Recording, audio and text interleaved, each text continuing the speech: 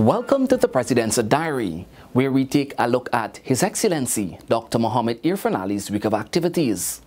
His Excellency started his week by attending a special emergency meeting of CARICOM heads of government, which was held virtually. The meeting discussed the upcoming ninth Summit of the Americas to be held in June in Los Angeles, California.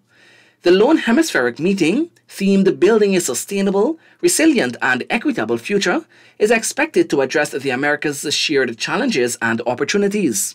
Minister of Foreign Affairs and International Cooperation Hugh Todd also attended the CARICOM meeting. President Ali Thursday met with the planning committee for the inaugural Regional Agri-Investment Forum and Expo.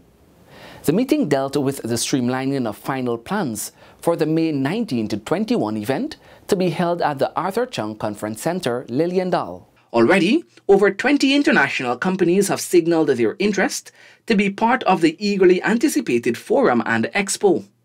Apart from the global entities, regional and local companies and heads of governments will be in Guyana for the event. In the UAE, we have been able to secure in attendance at this forum four of the largest buyers and distributors of food and agricultural products.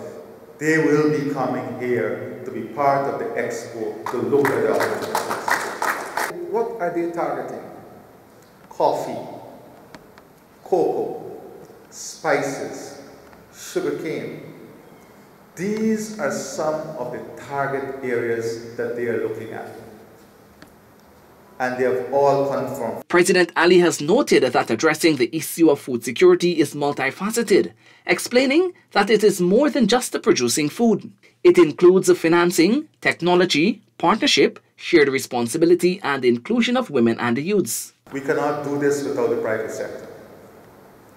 We cannot do this without each other. The region must understand that we are all partners in this. We can't restrict each other. We can't be barriers to each other. For it to be successful, we have to facilitate each other. We must have a win-win scenario. And that is what we want to create.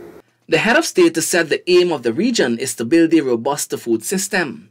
The end result must ensure healthier food, more cost-effective prices for the population, and greater economic opportunities through job creation. The forum will facilitate intense consultations between the public and the private sectors on investment opportunities. Meanwhile, the President's Agriculture and Innovation Entrepreneurship Initiative continues to progress. Let's take a look at the Shade House project.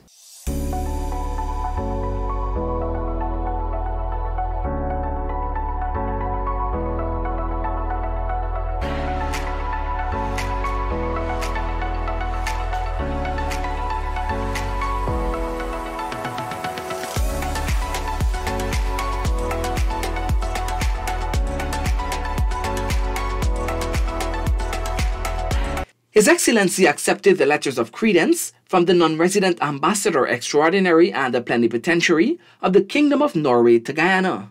I thank your government for offering ex expertise to contribute to Guyana's transition to a renewable energy mix. I look forward also to the expansion of cooperation in other areas that provide impetus for further strengthening relations between the Kingdom of Norway and the Cooperative Republic of Guyana. Guyana and the Kingdom of Norway have had bilateral relations since August 1979. President Ali on Friday met with opposition leader Aubrey Norton to initiate discussions to reconstitute constitutional bodies. The two are to have discussions to appoint members to sit on the Judicial Service Commission, Teaching Service Commission, Police Service Commission, and the Integrity Commission. The head of state has committed to providing the curricula vitae of the nominated persons to the opposition leader. This move by Dr. Ali embodies the doctrine of shared and inclusive governance. This has been the President's Diary, where we took a look at His Excellency Dr. Mohamed Irfaan Ali's week of activities. Thank you for watching and do join us again next week.